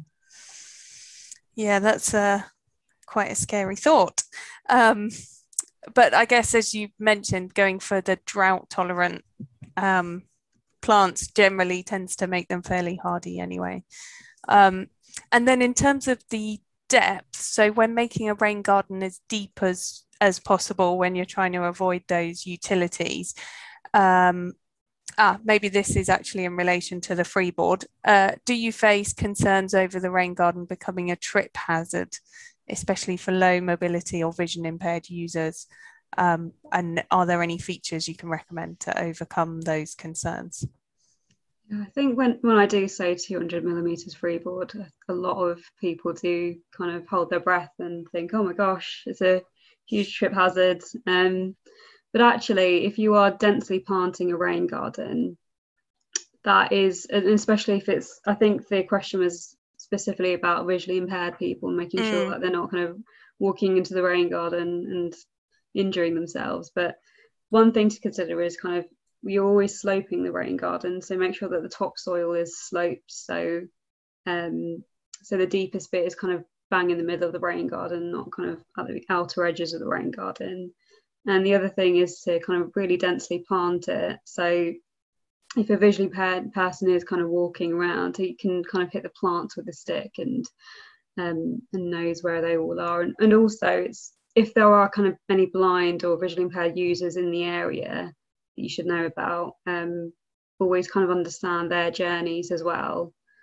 Um, so you kind of try and avoid any any issues that they might encounter. Good. Hopefully those those tips help others to to get more rain gardens in. Um, I'll do another rain garden question and then move on to some of the others.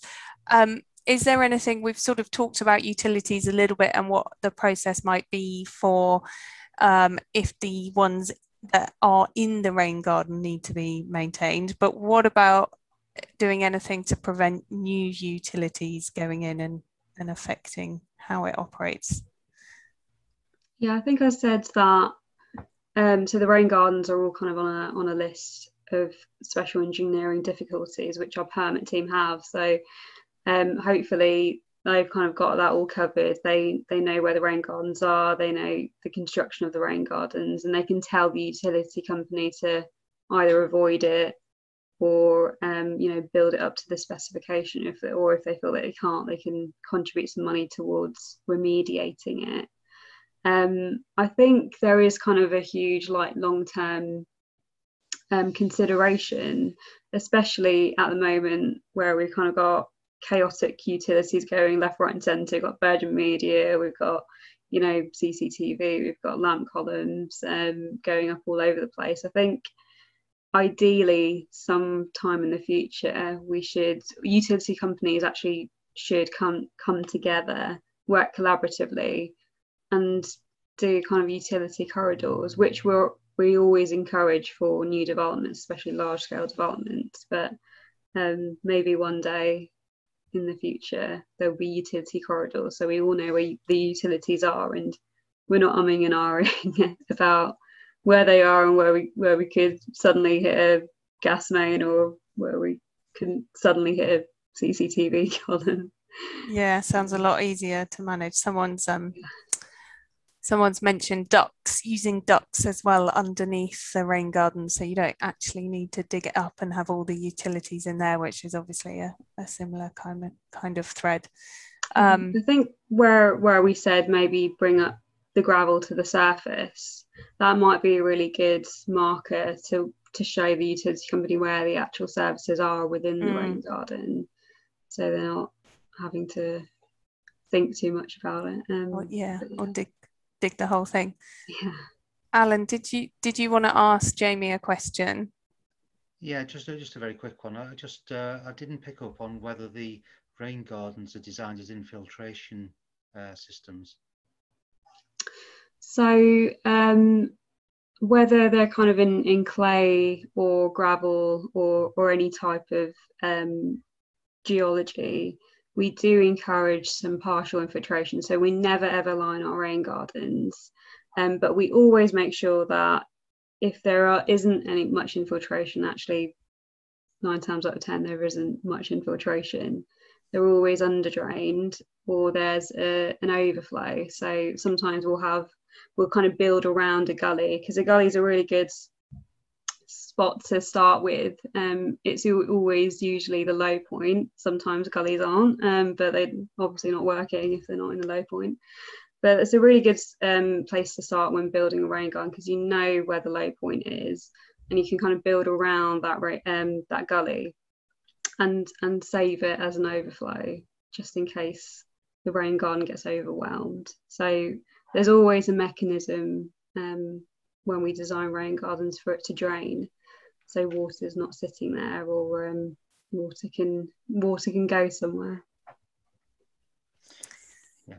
Thank you very much for that uh, jamie because uh, we're looking at putting some um, tree pit uh, details in in one of our urban streets in the near future. So we're, we're just uh, exploring that now and retrofitting uh, suds within the urban environment. Brilliant. Great. Sorry, there was one question that I don't think was answered. Um, was specifically for me um, about the other features, the non-mechanical features that uh, Lancashire County Council would adopt. And yes, we will adopt a vast variety of other features, you know, from infiltration systems, basins, um, swales, grass strips, filter strips, um, Jo's favourite filter drains if need be. you know, those are those are well within um, what we consider to be adoptable, provided they are the purpose is to drain the highway. Thanks, Allen. Um, okay, I wanted to come back to a comment um, on construction. So, Liz, you made a brief mention of construction um, SUDs. Can you elaborate on what is recommended as best practice guidance for the construction phase SUDs and whether there might be more focus on that in the future? This person, Rebecca, um, says, I work on major infrastructure projects and construction phase SUDs or always cause significant pollution, resulting in high non compliance and adverse impacts on biodiversity. Contractors often get away with it. Okay, we I only work with um, SUDs within development, so within residential development. So that question's probably more for large infrastructure, is it? Um, yes, major infrastructure projects, yes yeah, so probably something we'd need to get back to you on because it's not something that I would deal with under my area. But obviously, anything, any development road would need to be in, co- in accordance with the Lincolnshire County Council Development Road specification, which will cover those areas. So as long as it meets the spec, you shouldn't have any issues. But it doesn't really cover the type of infrastructure that's that the question is about. Can anyone else add anything there? I, I think. Um from my from my experience, obviously there are guidance. There's guidance out there now. Um, I think it is at the CIRIA report um, that uh, deal, deals with construction of SUDs, and um, obviously the, these are key issues. You know, where you, with any construction site, you nearly always get a high level of um, silt generation, particularly in the runoff, and the surface water management plan for the site should cover those uh, details of how the um, the surface water runoff, particularly the contaminated runoff, is dealt with from the site and managed properly. Just not just for the pollution element, but for flood risk as well. Because a, a number of greenfield sites that I've seen stripped off, they've just run straight off into the back of people's houses when we had any heavy rain. Yeah, so, yeah, it, it's a it's a serious issue for a flood risk and for pollution as well. Yeah. Go ahead, Jo. Just uh, somebody in one of the questions linked to this, somebody had said I think it was Liz who showed an illustration of putting um, geotextile and stone in the bottom of a swale during construction phase to stop that buildup of sediment. And somebody in the questions had suggested that that's okay, but then that creates a plastic geotextile that needs to be disposed of um, at the end of that. And I, I, I hear that, and I've, I've got my plastic pollution hat on. I agree, um, but I've started to see an increased use of hessian, and I wonder whether you could use hessian and stone for the same effect, and therefore you can reuse the stones certainly, and the hessian can be can be um, disposed of sustainably. It biodegrades, and also I was talking recently to um, you know these coir sausages with hessian wrap that you can get for sediment manu- management. I was talking to the manufacturer of those to see if they could make a sort of short fat sausage of coir and hessian that you could put down gully pots during the construction phase to capture um, sediments and pollution during construction phase in devices like gully pots, but also in devices like perhaps swales and, and inlets to basins and stuff. I know there are some products on the mar- market that use polystyrene, but as you can imagine, I'm not a great fan of polystyrene. So I was um, looking for maybe a coir and hessian alternative that theoretically you could bury on site once it's contaminated because it would just be coir, hessian, and, sa- and sediment. Um, so if you were still in the construction phase and you had a, had a hole handy, I don't know about the waste legislation, don't shout at me. But though these were just sort of solutions we were looking at for managing sediment during the construction phase to stop it from contaminating the suds during construction.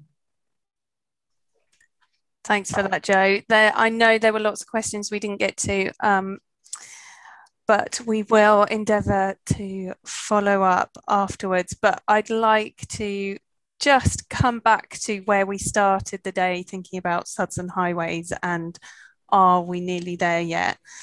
Um, Jo's reminded us at the very beginning of all those creatures we should be protecting from the nasty pollutants that can come from our highways. And I think we've seen from today's um, presenters that, that we are nearly there with suds and highways. Um, in Lincolnshire, over 90% there, which is incredible.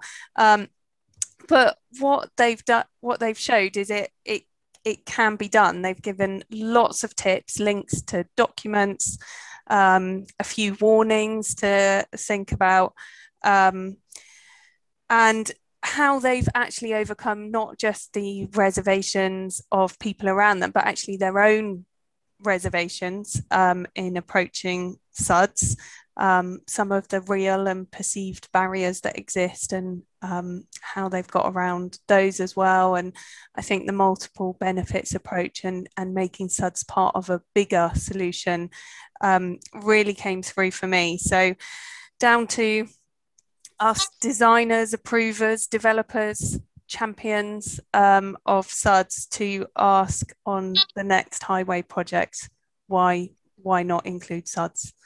Um, so thank you again, big thank you to Jo, Allen, Liz and Jamie, really valuable contributions. Hopefully everyone's taken something away from that. So thank you all. Um, we'll circulate the presentations where we've got consent, try and cover those additional questions and please do give your webinar feedback and complete the online survey which will be emailed to you sh shortly. Thanks again for your time and I'll hand back to Louise. Thanks, Jessica, for fantastic chairing today. And thank you so much to all our speakers for really wonderful presentations. Um, I just want to say thanks again to the susdrain partners and supporters for making the webinar happen.